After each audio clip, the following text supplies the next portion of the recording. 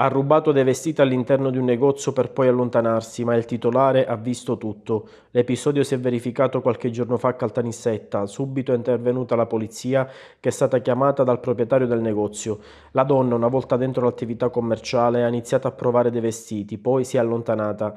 Un atteggiamento che ha insospettito il titolare che tempestivamente ha visionato le immagini delle telecamere che hanno dimostrato come la donna avesse rubato pantaloni e magliette. Subito è arrivata una volante della polizia che ha trovato la donna in una mia limitrofa al negozio con ancora la refurtiva addosso. La donna ha restituito tutto scoppiando in lacrime ma non eviterà la denuncia per il reato di furto.